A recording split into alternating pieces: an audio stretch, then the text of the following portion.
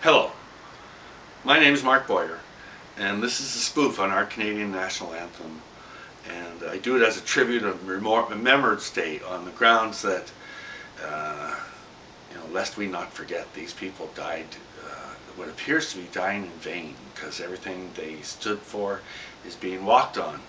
And I express it through this uh, no bars, no expenses barred presentation of our Canadian national anthem of No Canada.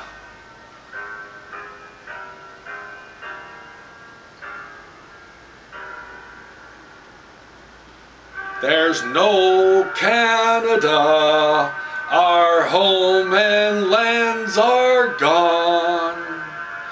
It's treasonous to take all our freedom. We got this way through complacency while NAFTA robbed us blind. We are all slaves to the economy because our credit cards command. So far in debt, there's no way out. We've all been, been sold as slaves to the USA. Old Canada, it's time to take a stand.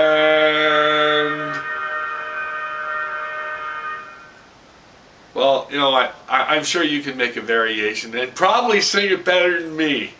But you know, the reality is, is we've been sold out by Harper and Ignatieff and all the other politicians combined. We have the same situation in Canada as the United States. It doesn't matter who you vote for. They all sold us out. And uh, uh, what can we do? Uh, we try to do it legally and we're governed by thieves, liars, and hypocrites who, as to Matthew 23:15, really are twice as bad as the Nimrods of 3,000 years ago. And we really are facing our end times, and uh, what can I say? Check out my website.